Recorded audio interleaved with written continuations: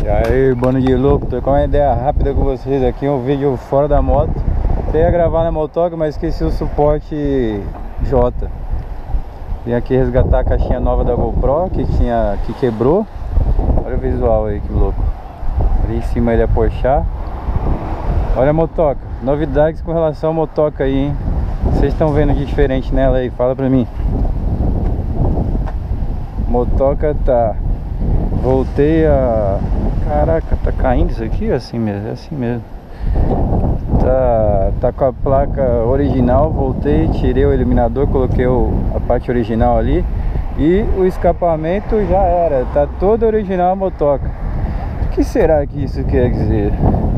Tá tudo original e toda suja, né? Meu Deus do céu, cara A moto tá encardida Então o que isso significa? Significa que ela vai embora. Essa que é a novidade. Logo menos vai ter novidade aí. E agora, hein?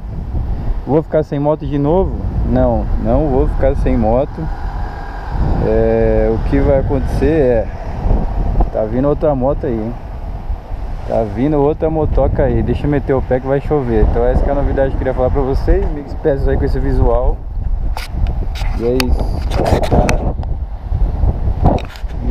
limpa aqui na missão.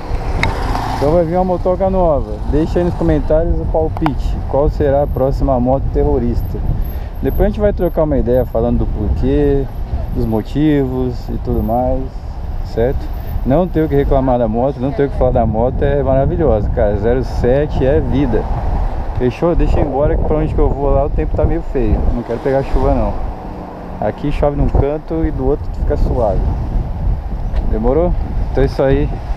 Depois troca ideia. Vai pensando o que, que vai vir por aí. Dica, a única dica que eu vou dar. Não vai ser um cilindro e não vai ser dois cilindros. Deixa teu palpite. Qual vai ser? MT-07 mais nova do Brasil vai embora. Vamos despedir aqui com o ronco dela original. Ó, tá indo embora com 3.643 km, cara.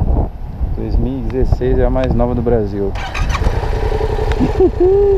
Não tem ronco, velho. Caraca. O ronco acabou.